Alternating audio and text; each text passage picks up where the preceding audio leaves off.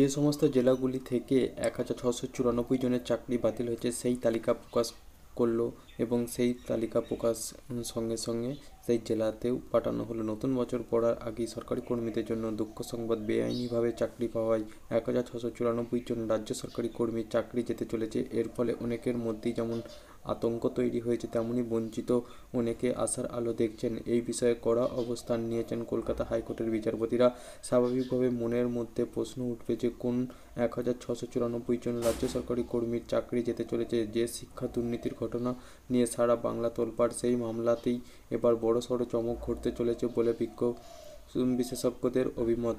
বেআইনিভাবে চাকরি পাওয়া ও ওএমআর সিট জালিয়াতিতে অভিযোগে রাজ্যের স্কুলগুলিতে নিযুক্ত এক হাজার ছশো চুরানব্বই জন শিক্ষাকর্মী ও শিক্ষক ও কর্মীর বিরুদ্ধে কড়া পদক্ষেপ নেওয়ার নির্দেশ নিয়েছেন বিচারপতি বিশ্বজিৎ বসু। প্রাথমিক শিক্ষক নিয়োগে নবম, দশম, একাদশ দ্বাদশের শিক্ষক নিয়োগ ও হাই স্কুলের এসএসসির মাধ্যমে গ্রুপ সি, গ্রুপ ডির কর্মী নিয়োগে ব্যাপক দুর্নীতির অভিযোগ উঠেছে। কলকাতা হাইকোর্টের নির্দেশে এই ঘটনায় তদন্ত করছে সিবিআই। তারাই কলকাতা হাইকোর্টে রিপোর্টে জমা দিয়ে জানিয়েছেন, দু হাজার আঠেরো সাল থেকে রাজ্যের স্কুলগুলিতে নিযুক্ত শিক্ষাকর্মীদের মধ্যে এক হাজার ছশো চুরানব্বই জনই জালিয়াতি করে চাকরি পেয়েছেন। তারা ওএমআর সিট কেলেঙ্কারির মাধ্যমে নিশ্চিত বেতন সরকারের চাকরি আদায় করেছেন বলে ইতিমধ্যে সিবিআইয়ের তদন্তে উঠে এসেছে। জানা গিয়েছে, রাজ্যের শিক্ষা দপ্তরের পদস্থ কর্তাদের মোটা টাকা ঘুষ নিয়ে সেই সমস্ত চাকরি হয়েছে। এরা নাকি পরীক্ষা হলে ওএমআর সিট প্রায় কিছুই লেখেনি, পরে তাদের ওএমআর সিটে নতুন করে ভর্তি করে তাদের নম্বর বাড়িয়ে দেওয়া হয়।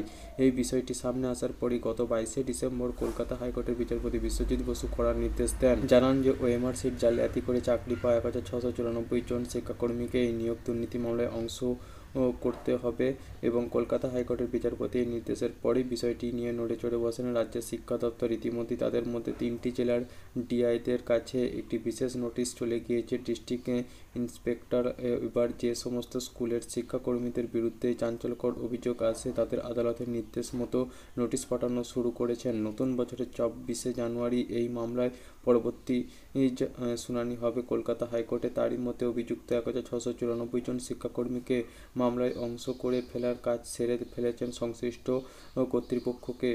বিচারপতি বিশ্বজিৎ বসু জানিয়েছেন, তিনি অভিযুক্ত সকল শিক্ষাকর্মীর বক্তব্য শোনার পর চূড়ান্ত রায় দেবেন।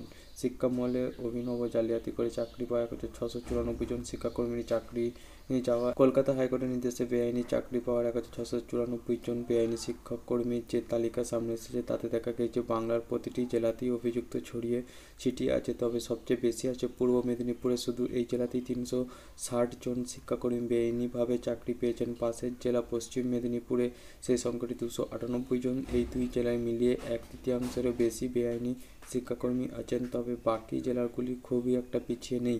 উত্তর চব্বিশ পরগনা, বাঁকুড়া, বীরভূম, পুরুলিয়া, দার্জিলিং, জলপাইগুড়ি, মালদা সহ বিভিন্ন জেলাতে বেআইনিভাবে চাকরি পাওয়ার অশিক্ষিত কর্মীরা সামিল আছেন। অবশ্য প্রতিটি জেলাতেই অযোগ্য কর্মীদের তালিকা পৌঁছে গিয়েছে বলে জানা যাচ্ছে। আদালতের নির্দেশ অনুযায়ী এদের সকলেরই চাকরি বাতিল হবে।